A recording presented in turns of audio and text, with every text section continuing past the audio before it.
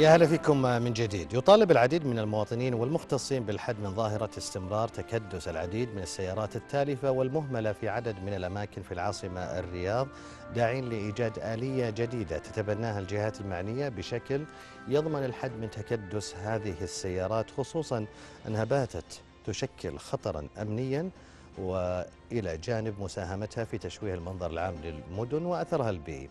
خلونا نتابع هذا التقرير اللي عد لنا زميلنا عبد المحسن التميمي حول هذا الموضوع بعدها بنفتح ملف النقاش.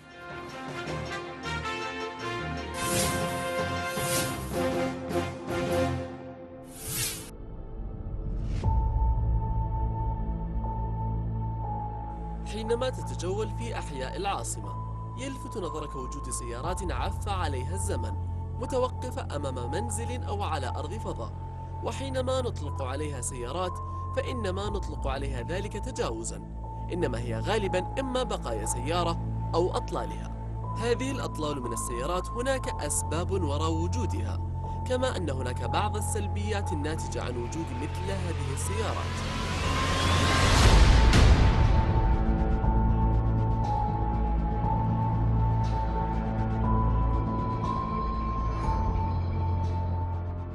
البحث عن السيارات التالفة وجدنا هذه السيارة وكانت المفاجأة ما تحمله بداخلها.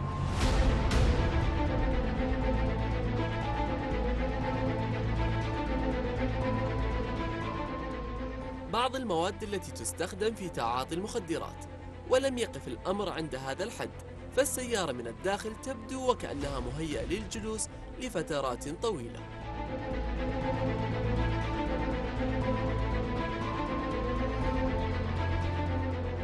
للسيارات التالفة قصص لا تنتهي.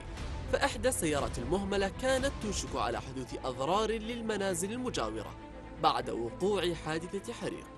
يعني أنا أشوف أن السيارات التالفة أو القديمة تسبب ضرر وفي بعضها تستخدم استخدامات سيئة. أنا قبل فترة عند البيت سيارة لها فترة واقفة لقيناها يعني صار فيها حريق تقريبا. كان ممكن تسوي أذى في المنطقة أو شيء بس الحمد لله. ونتمنى أن الظاهرة دي ما عاد نشوفها.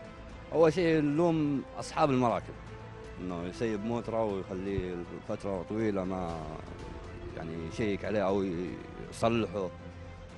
الشيء الثاني واللي هو أهم إنه البلدية. البلدية لو تشد حيلها بالأمور كان لا نلقى ظاهرة تجمع سيارات خربانة أو سيارات مصدمة أو إلى آخره يعني. ظاهرة انتشار السيارات التالفة في المدينة ليست بالحديثة. فشوارع العاصمة تعاني من تراكم هذه السيارات منذ عدة سنين قديمة. عبد المحسن التميمي لبرنامج يا هلا الرياض.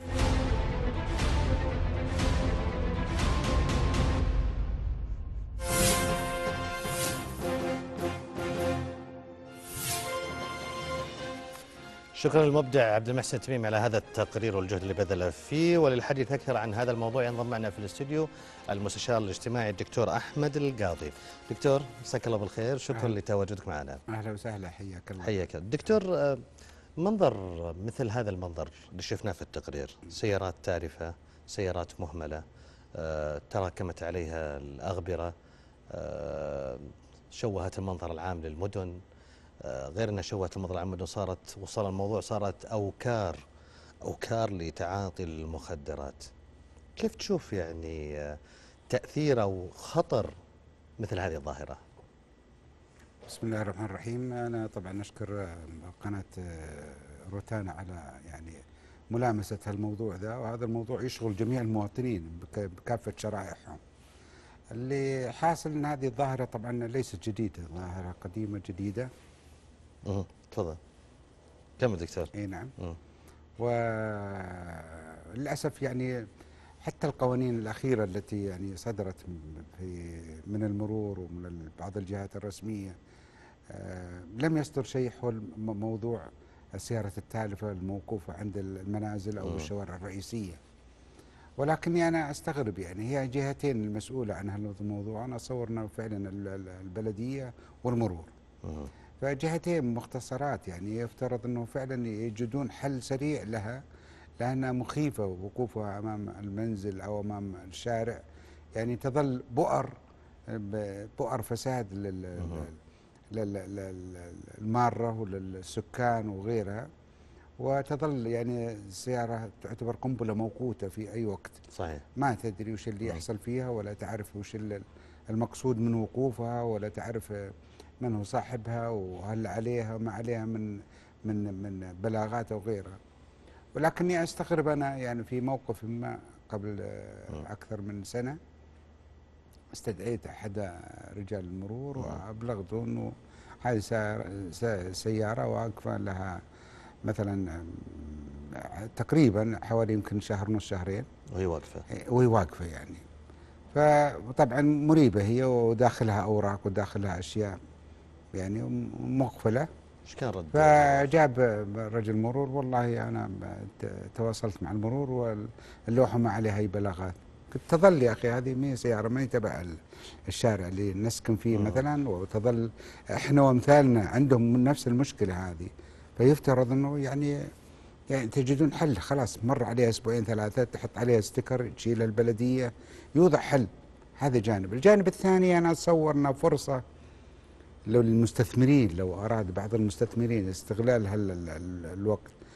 بعض بعض منهم خلينا ناخذها من الجانب ال- ال- نقول الإيجابي بعضهم يسافر يتركها وما ما يجد حلول أخرى إنه يركن سيارته لمدة آه، اجازته ير- شهر يركنها عند بيته. يركنها حتى عند بيته مشوه يا أستاذي. اي لا يبي بيسافر أسبوع أسبوعين. إيه. وقف سيارتك عند بيتك لا البعض ما تدري أسبوعين ثلاثة ستة شهور ما إيه. ما تعرف وش هو يعني وتظل إنها مشوهة وتظل إنها مريبة و- وتظل إنه لا تعرف هل صاحب السيارة هو هو فعلا عنده خروج وعودة أو إنه صار له ظرف ما ولن يرجع. تظل السيارة يعني وقوفها يعني مشوه و- وغير مطمن.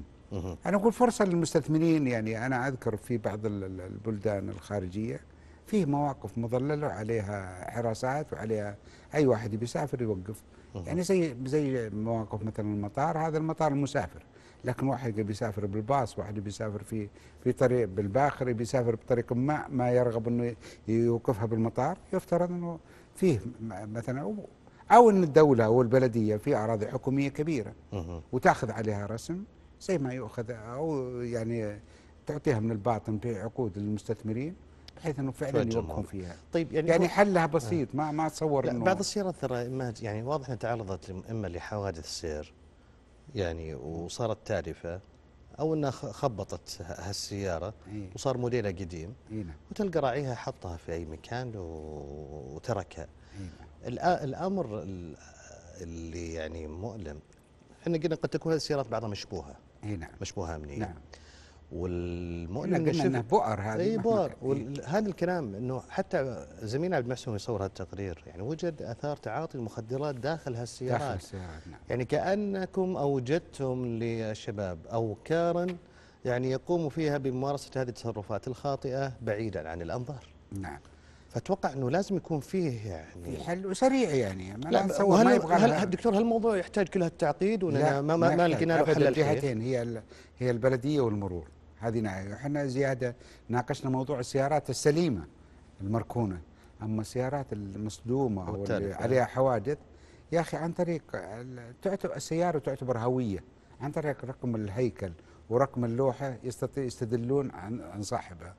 أنا عن طريق الوسيلتين هذه أقدر أوقف خدمات مثلا كفيل الشخص أو نفس الشخص أوقف كل خدماته لحد ما يبحث حل. وأعطيه فرصة مثلا أسبوعين ثلاثة وبعدين أتصرف إني أشيلها وأضيف عليها غرامات وقوفها عدم تجاوب الشخص تشويهها للمنظر العام. يعني ت- تظل إنها يعني شكل غير حضاري. نعم. أنت مع يعني فرض عقوبات لمن نعم. يعني يعني يعني يتسببون في وجود مثل هالسيارات مثل السيارة سواء المصدومة مم. أو المركونة لمدة طويلة كلها تشويه المصدومة هذه ما فيها يعني حلولها سهلة جدا يعني يفترض أن البلدية تشيلها. تشيلها وبرضه يعني تلزم صاحب السيارة بغرامات ليش إنه ما تصرف أو إنه لي- ليش ما شالها بوقتها ليش ما والوصول لصاحب السيارة بسهولة الآن سيارة تعتبر حتى لو طاحت لوحتها يظل رقم الهيكل يوصل. للمالك طيب الآلية اللي تقترحها خلينا نتكلم عن شيء عملي يعني آلية مفترض أنه تتبعها إحنا قلنا جهتين معنية بالأمر اللي نعم. هي البلديات.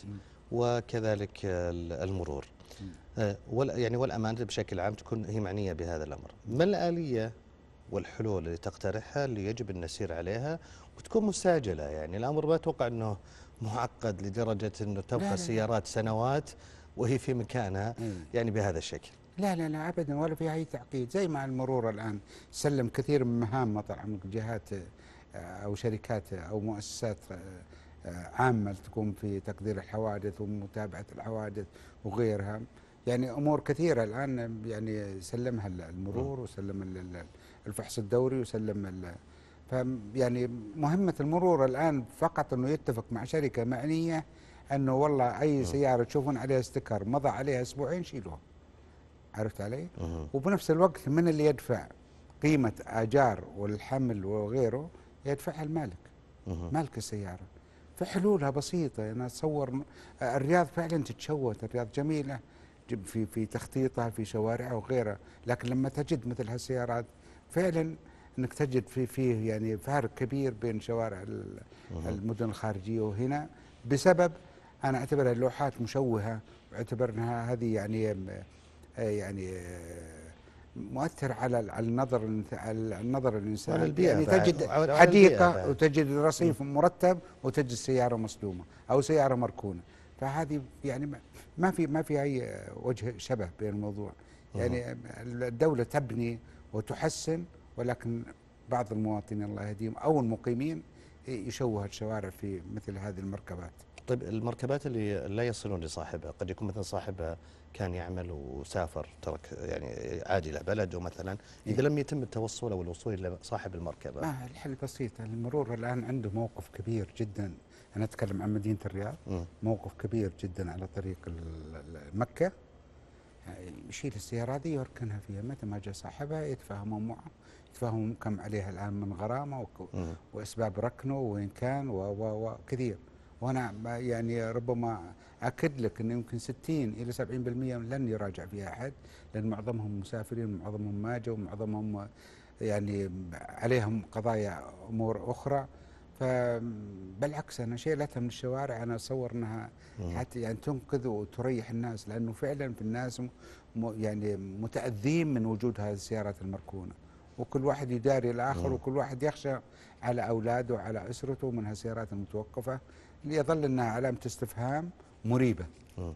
أنا أتمنى الحقيقة هي رسالة للإدارة العامة للمرور. آه، رسالة كذلك للأمانات والبلديات. الموضوع ما يستحق كل هذا ال- ال- النوم. يعني النوم في العسل وأنه الحين ما بعد شفنا حل ويعني لهال لهالموضوع. يعني المفترض يكون في إجراء قريب الرياض شوهت بها السيارات صارت أوكار للرذيلة وأوكار يعني آه، لمن يعني يتعاطون المخدرات. إحنا شفنا مقاطع شفنا آثار تعاطي مخدرات في بعض السيارات. الموضوع صار له بعد أمني خطر أمني. فهل الموضوع معقد لهذه الدرجة أبداً. حتى تبقى سيارات سنوات؟ لا. شيء غريب صراحة. شيء جدا شيء شيء غريب شيء غريب شيء غريب. ومؤلم والله. مم. أنا أتمنى والله يكون في حراك سريع. عاجل لا يقبل التأجيل لهذا الموضوع. شكرا لك يا دكتور. إذا عندك شيء أخير تبي تقوله قبل ما نختم فقرتنا؟ لا لا أتمنى إن شاء الله إنه مم. أقول ال- الحلقة ت- يعني تصل الرسالة إلى أصحاب الشأن وأصحاب القرار. لأنه إحنا يعني كل فرد في مدينة الرياض أو غير مدينة الرياض أنا. اتصور انه في بعد في المدن الأخرى إنه فعلا يصير في تنظيم سووا حملة يا أخي إيه. سووا حملة لمدة ما بي حملة حملة تنتهي يا أستاذ لا لا لا بس أقصد الحين الحين نتكلم عن الموجود الحين إيه. سووا حملة لمدة أسبوعين نظفوا الرياض وغير الرياض من هالسيارات إيه نعم. بعدها شرعوا قرارات صارمة هذا هو هذا أنا وتنظيم أقول لازم يصير في. تنظيم نعم مم. تنظيم دائم وتعطي الصلاحيات يعني المباشرين للعمل. يعني لا بدون مدارات جميل. شكرا لك يا دكتور. الله. يعطيك العافية. يحييك. أحمد القاضي. المستشار الاجتماعي.